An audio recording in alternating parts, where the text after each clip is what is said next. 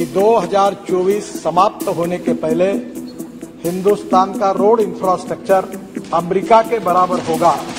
ये विश्वास मैं दिलाना चाहता हूँ। लोकसभा में सड़क परिवहन और राज्य मार्ग मंत्रालय की अनुदान मांगों पर चर्चा के दौरान नितिन गडकरी ने लोकसभा में दावा किया है कि 2024 समाप्त होने से पहले देश का रोड इंफ्रास्ट्रक्चर अमेरिका के बराबर होगा।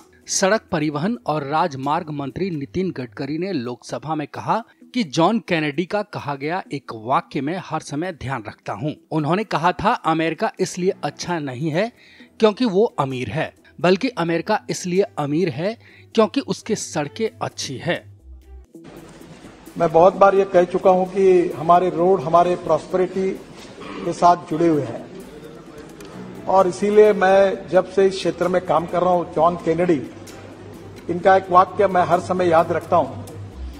और उनने कहा था कि American roads are not good because America is rich. But America is rich because American roads are good.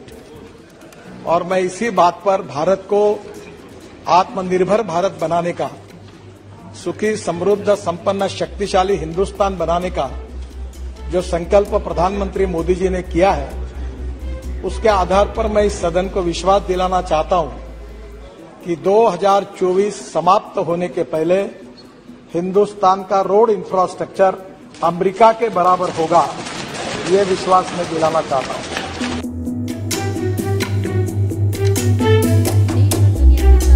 के लिए कोबरा पोस्ट हिंदी को सब्सक्राइब करें और अलर्ट्स के लिए बेल आइकन पर क्लिक करें।